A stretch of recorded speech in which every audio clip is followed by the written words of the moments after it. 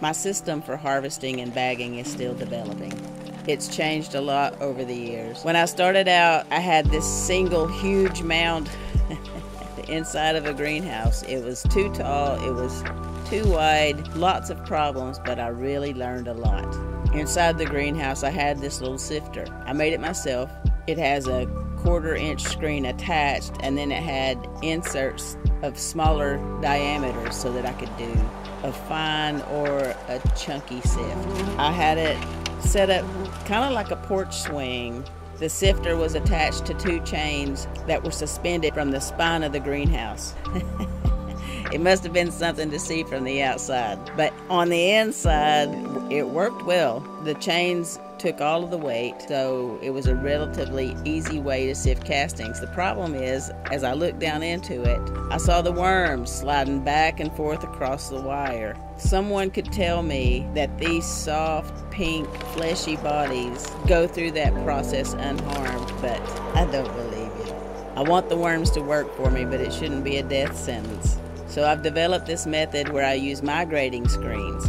You see that little screen right there by my left hand?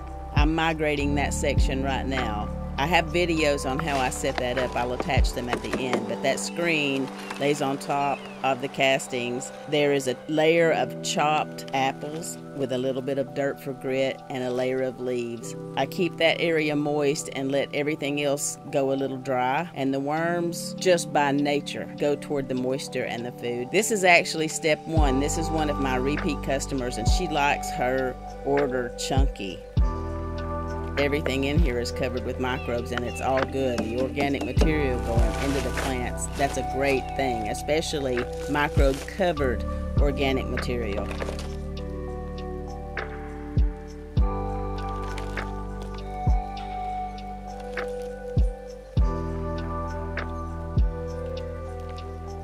The first migration does a great job of removing the worms, but what it leaves behind is all of the cocoons. And you have to be careful with that when you're selling your castings because selling your cocoons is selling your future generations, and over time it can deplete your worm stock.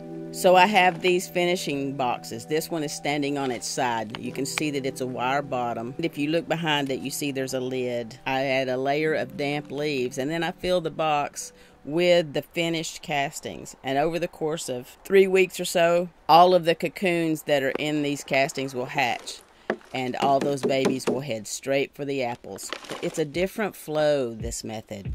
It takes longer, but if you cooperate with that flow, I personally find it a very effective way to move the worms out of the medium. I'm not saying it's better, I'm saying this is how I do it. Frankly, if you're out there composting, if you're worm farming, if you're putting your food scraps in your garden, if you're raking your leaves and building soil in any way, thank you. Thank you, thank you, thank you, thank you, thank you. Let's keep going. Have you heard of the soil food web? The gut biome has been prominent in the news these days. Probiotics, prebiotics, the soil has a biome just like our stomach. Consider this bag to be yogurt for the garden. Are you familiar with Dr. Elaine Ingham? One of the things you want to ask yourself is is this soil or is this dirt? When we're talking about soil, it has to have all of the food web organisms in it, and it needs to have some organic matter as well. When I look at the color of this field, this recently tilled field, I get a little concerned because this is not the rich, dark brown, 70% cocoa chocolate color that I want to see.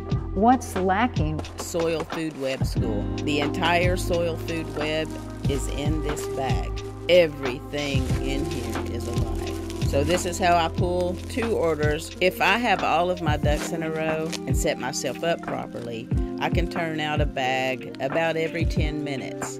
This is a gentle, easy, efficient system. I use sandbags because they're breathable and they're resistant to mold and mildew. I get 20 bucks a bag I also give a bulk price to local folks who are buying larger quantities, a yard or more. So that's it. That's two bags. I'll drag these over and park them in the shade. My customer will be here later this afternoon. See ya.